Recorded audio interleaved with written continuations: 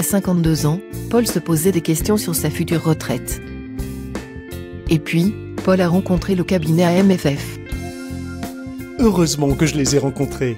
J'ai pris un premier rendez-vous gratuit et sans aucun engagement.